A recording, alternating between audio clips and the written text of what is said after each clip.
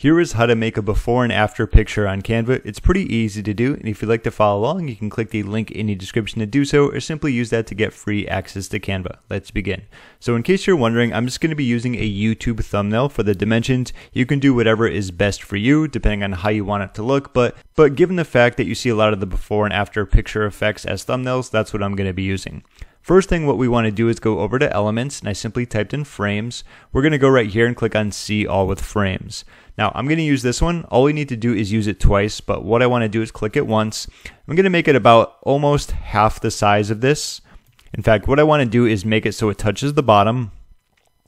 And then what I'm going to do is just kind of move it in right here from the right. And I believe around like 640 is going to be half. Yes, it stopped right there, so that's perfect. It kind of lined it up, so that's perfectly half of this.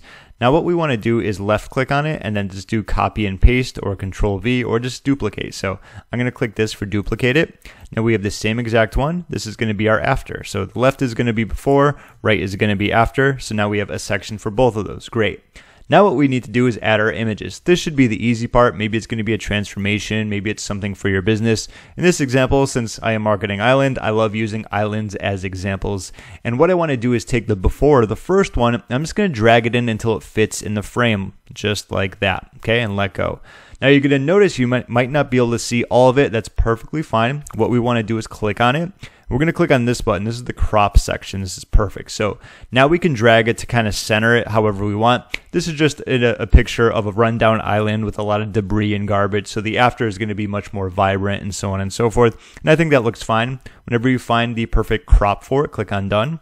Let's do the same exact thing for the next one. This is going to be our after shot. Let's drag it into the frame so it sticks. Let's click on it. Let's go to the crop and let's say we want a little bit more vibrant. So something like this, right? So that's going to be like the before and after.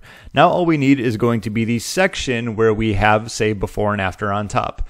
What we can do here is go to elements. Let's go back here. And what we can do is look for shapes. It's already there, but I'm just going to type it in for you. And all we need is something like this. Okay, so let's click on see all. I'm going to go to this. We're going to drag this, don't worry about the color as well, all the way up to the top. Now, how tall you make it is really going to be up to you.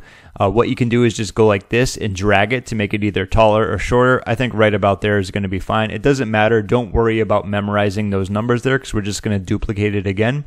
We're going to drag it right there. Okay, now what we want to do before we change anything over or duplicate it, I'm going to click on it. Let's just change the color. It really depends on what you want to use, but say for this, any of these colors almost kind of match too well, but to really make it stand out, I'm going to say use red. Now what we want to do is click on it, right click on it, and then duplicate. And we're just going to drag it on over to the top. I think you get the idea here. Now we have just the text is all we need to do. So let's go to the text. We can do any type of text box. I'm just going to go with the heading here. I'm going to do before. And what I want to do is make that white. So I'm just going to click on the text color and let's do white so it really stands out. We can do before right there. And there's also, if you want to click on this as well, you can kind of do effects to probably make it look better. Since this is white, I say like an outline would probably be pretty good here. Let's make it actual black so it'll pop more. I think it looks so much better like that. Okay.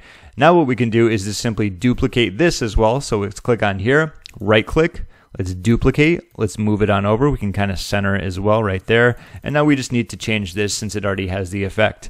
And that, my friend, is how you can make a before and after picture on Canva. It's pretty straightforward to do. You can also play around with it. You can move these on the bottom if you want. You know, you can put an actual border in the middle if you want to separate that. You can maybe fade it. It's really going to be up to you. But if you got any value out of this, be sure to give the video a thumbs up as it helps me out a ton. And if you made it all the way to the end, a virtual high five for you. I will leave a link deeper in the description that can help with building and growing your digital business if that's what you're into, of course. My name is James. Thank you so much for watching, and I'll see you in my next video.